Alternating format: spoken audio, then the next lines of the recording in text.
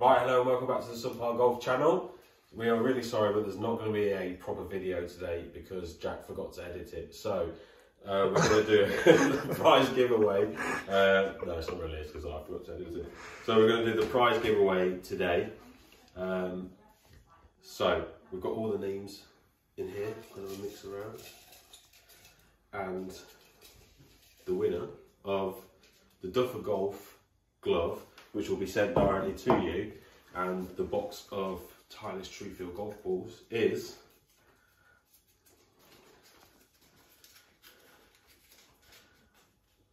Alfie and Dad Golf. So make sure you get in touch with us on Instagram, because I don't think you can message on YouTube, on Instagram, and uh, we'll get those out to you. Congratulations.